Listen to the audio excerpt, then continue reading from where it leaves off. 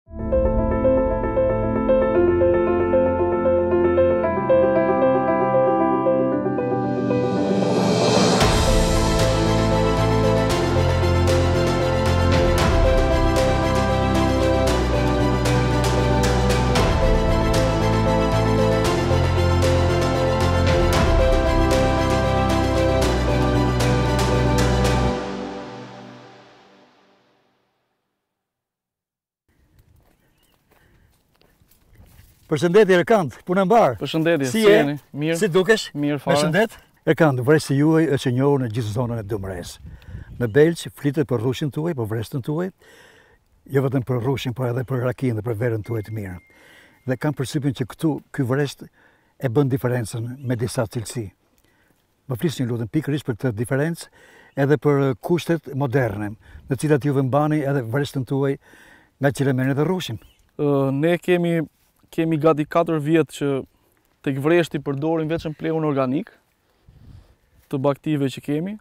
Domthonjë spërkatjet janë shumë të pakta, Dhe kjo domethënë ka, ka bërë te cilësia vreshtit. Dhe në bazë të kësaj ne nga vjet kemi apliku për certifikim organik dhe nga vjet ne kemi marrë certifikatën organike, domethënë të cilësisë së rrushit.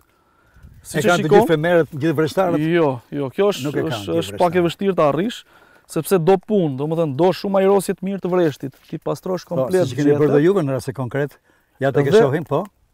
ta pastrosh edhe domethënë plehërimi po prap nuk hedhim asnjë lloj plehërimi por veç plehërimit organik edhe spërkatjet janë shumë të pakta që thashë dhe kjo bën që vreshti të ketë një cilësi të mirë të ketë shijen, të ketë aromën të gjitha pra licencë organike thamë e mirë dhe licencë organike më thatë licenca është certifikata më saktë jo licencë po? certifikatë për vreshtin për vreshtin për cilësinë e vreshtit për cilësinë e vreshtit po Ju përshëndes.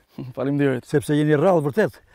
Unë mund të futem në shumë vreshta të tjera këtu në Dumre, por kam përshtypjen që janë të paktë ata vreshtarë si puna juaj, aq më shumë në moshë të re pra që i jeni përkushtuar punës, vreshtës, rrushit, ullirit pak më lart dhe kështu po, me radhë. Po, dhe ulliri është certifikuar. Atëherë, Për ta shpjeguar edhe pak më tepër, këtu është dhe pozicioni i tokës që e bën vreshtin që mos të dojë dhe shumë spërkatje.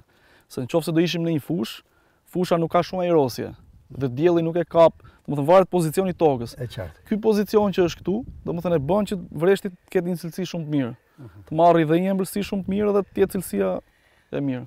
Në këtë rast unë s'do gaboja faktikisht Erkand, do të më ndjekë edhe syri i kamerës sonë. Këtu në Dumre po e mendoj sikur jemi në Toskanat e Italisë.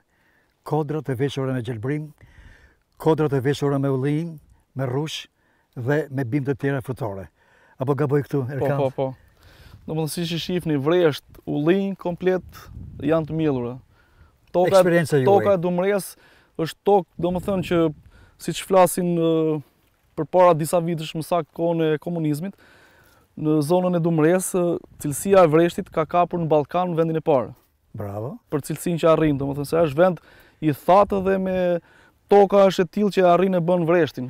Vreshtin edhe duhanin. Atëherë, që të dyja këto kapin në këtë kontekst, cilësinë maksimale. E Kandë, çfarë është toka për ju?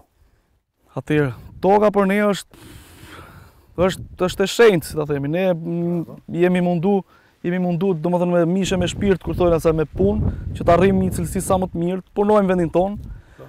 Por me thënë të drejtën këto vitet e fundit jemi pak pesimistë për tregun, se sado që cilësia është shumë e mirë, vreshti është shumë i mirë, prapë kemi hasë vështirësi te tregu, te te çmimi më saktë.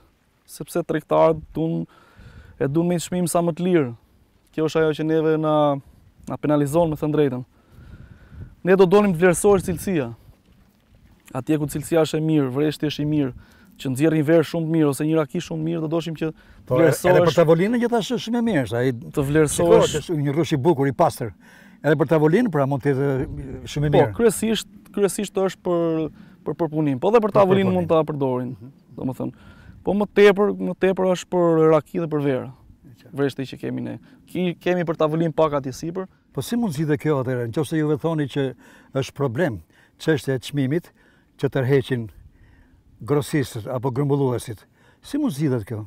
Atëherë, kjo do ishte mirë, domethënë, nga kantinat ose nga njerëzit që kanë kantina me emër, që dun një vresht cilësor dhe me certifikim organik siç kemi ne, Të vijnë ta shikojnë dhe ta marrin për atë që është, për cilësinë që është, domethënë. Dhe vera do i dali më e mirë nga nga një vresht që është uh, me 10 apo 15 spërkatje.